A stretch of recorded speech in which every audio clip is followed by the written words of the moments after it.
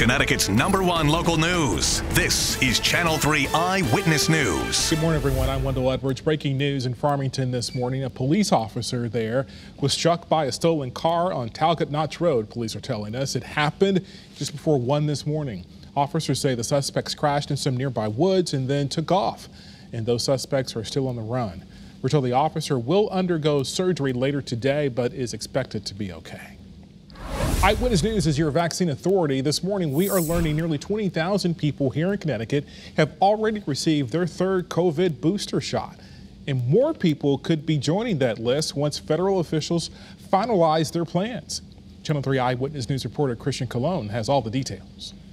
Connecticut leaders say they are prepared to kick off their third dose initiative, but federal officials say not yet. So far, only the immunocompromised qualify. That was big for me uh, to, to get the third dose as soon as they told me I could have the third dose. Eh, literally within a week, I went and, and had, had the dose. So uh, I didn't have any, you know, second thoughts about it. Bruce Adams got his new liver 11 years ago, so staying protected is his priority, which is why in April he went for his first and second dose, and now he has the third, and soon many others could join Bruce. It was just three days ago when the FDA panel supported that the 65 and older should get their third dose. Now it's up to the FDA to make it official, something Dr. Anthony Fauci defends. I don't think they made a mistake, but the one thing I think people need to realize that data are coming in literally on a daily and weekly basis. Christian Colon, Channel 3 Eyewitness News. Now to an update on that breaking national news story. Investigators are working to determine if remains found in Wyoming's Grand Teton National Park are that of 22-year-old Gabby Petito. She vanished during a cross-country trip with her fiancé, Brian Laundrie. Channel 3's Caitlin Francis has more on this developing story. The search for Gabrielle Petito appears to have come to a tragic end. A body matching the description of the missing woman was found by investigators yesterday at a campsite in Wyoming. Full forensic identification has not been completed to confirm 100% that we found Gabby, but her family has been notified of this discovery. The cause of death has not been determined at this time. Just after the news broke of the remains being found, Petito's father, Joe, showed a picture of Gabby on Twitter with a broken heart and the words, She touched the world. The 22 year old's family had not heard from her since late last month when she contacted them from Grand Teton National Park.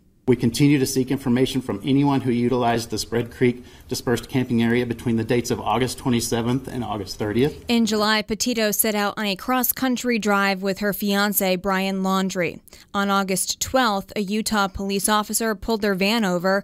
The body cam video shows the couple in the middle of an emotional argument. He was been fighting all morning and.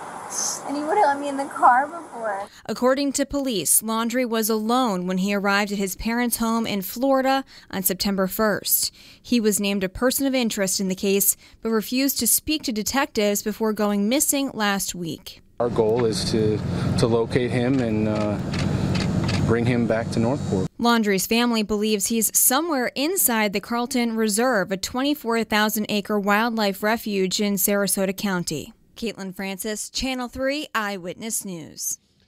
Police in Wethersfield are searching for a driver they say killed two people in a hit and run. And we're learning this unfolded on I 91 northbound near exit 27 early Sunday morning.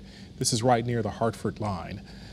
State police say several people had been standing in the roadway after being involved in the crash, you can see from here, when three of those people were struck by an oncoming car. Now, one person was airlifted to the hospital. Two others were killed on the scene. The driver that hit them didn't stop, and troopers are now looking for a 2002 2004 blue Honda CRV. It has spare tire affixed to the rear end, along with damage on the driver's front side. If you know anything, please call state police.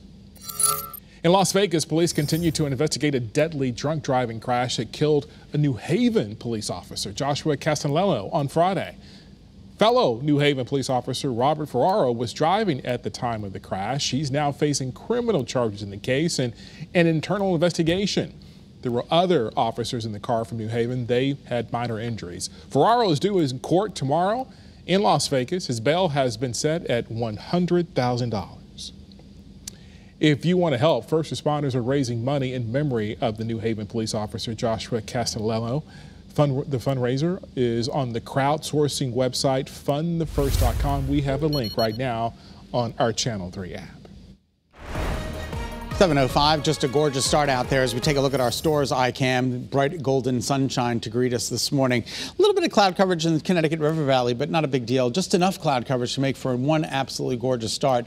And it's going to be a beautiful day of weather today with our Doppler scanning the state dry.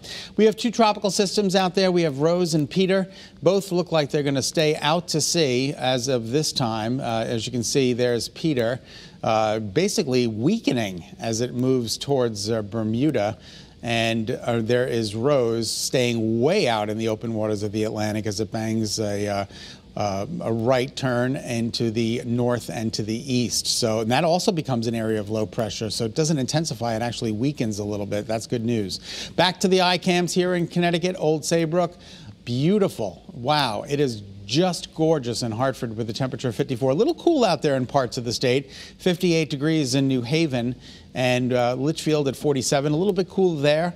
Uh, sweater weather, 47 degrees. You've got Norwich at 51. Other parts of Norwich, though, coming in closer to 48. Wallingford 54 and Meriden at 55. There's that 48 degrees I'm talking about in Norwich.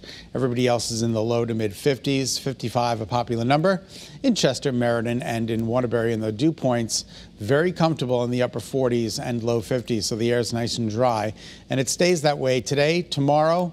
Uh, Wednesday, it starts to climb with unsettled weather for Thursday. And then Friday and Saturday, we get back into the pleasant category. So it's another great start. Sunshine is expected today. Tomorrow looks pretty good, too. And then Wednesday, mostly cloudy with passing showers. Satellite and radar confirms there's not a lot going on. You'll notice this rain train moving through uh, parts of uh, Georgia. You've got uh, Tennessee, Kentucky, on up into uh, Ohio and Indiana. All of this is eventually going to make its way towards us. By Wednesday, we're going to be under mostly cloudy skies with passing showers.